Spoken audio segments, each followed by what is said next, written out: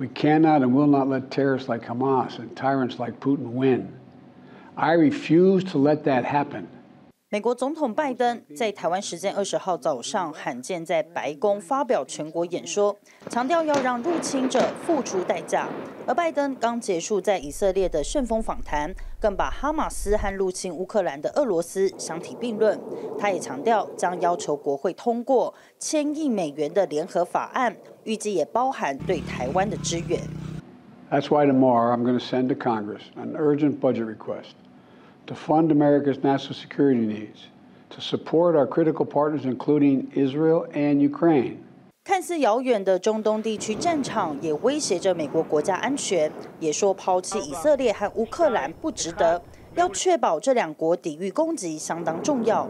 而以巴冲突持续延烧，加萨走廊当地最大城市的医院发生大规模爆炸，至少五百人死亡，人道救援危机拉警报。也终于在台湾时间二十号，埃及同意开通拉法口岸，让救援物资进入加萨走廊。